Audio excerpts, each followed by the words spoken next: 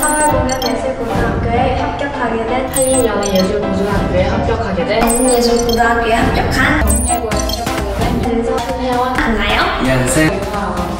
제일 유명한 건 수지, 있지 유진입니다. 방탄 정국이랑 그리고 혜리, 채연이 등등등 한 100명 넘는 연예인을 배출 이모님이랑 알아보던 분 중에 입시나 전문적으로는 가장 체계적으로 잘 되어 있는 것 같아 서 보컬 1대1 레슨하고 피아노도 1대1 레슨으로 하고 입시랑 다 같이 모여서 앙상블이라는 수업도 같이 했었고 이론 수업도 같이 했거든요. 좋아하기만 했던 학생이었는데 유튜브 영상이나 그런 거 찾아보면 되게 춤 전문적으로 하시는 분들 영상도 있고 그런 걸 직업으로 삼으셔서 하시는 분들도 계신 걸 알다 보니까 저도 그렇게 하고 싶어서 춤을 직업으로 삼고 싶어서 이렇게 전문적으로 좀 더 배우려고 했었던 것 같아요.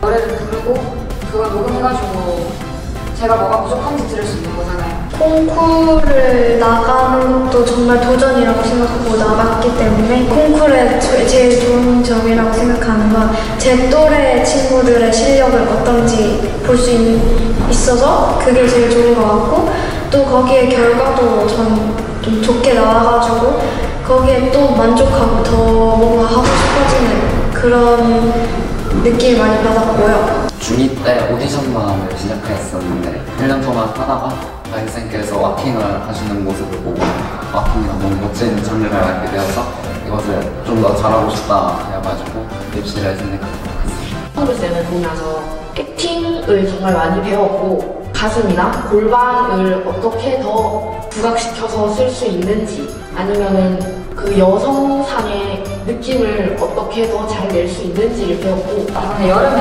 했던 게 제가 혼자 솔로를 한번 했었잖아요.